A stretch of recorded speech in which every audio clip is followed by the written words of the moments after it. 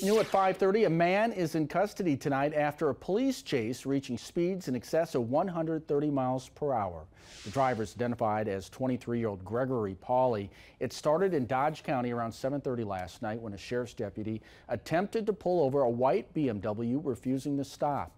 During the chase, Pauley's car almost hit several other drivers. Authorities say the chase continued over 28 miles in the Fond du Lac County until a state trooper deployed a pursuit intervention technique or PIT maneuver. Pauley was taken into custody for fleeing, eluding an officer, and second degree reckless endangering safety.